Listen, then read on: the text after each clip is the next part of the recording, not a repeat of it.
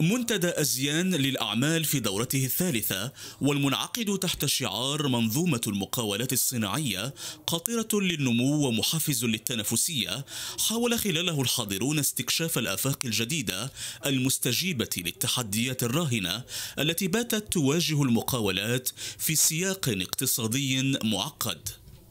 المنتدى كان فرصة لتسهيل التعاون بين مختلف المقاولات والمؤسسات الصناعية ما سيمكن المصنعين من الإبقاء على التنافسية والتكيف بالتالي مع التغيرات السريعة التي أصبحت تميز السوق.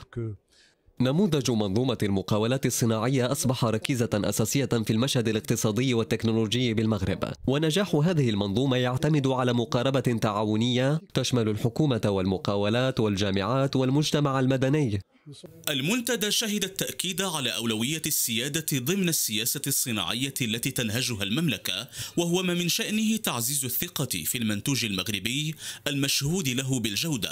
هذا اللقاء مناسبة أننا نأكدوا على يعني آه، الإرادة ديال المغرب بقيادة جلالة الملك حفظه الله بالرفع من القيمة المضافة في الصناعة المغربية وتقوية النسيج الصناعي.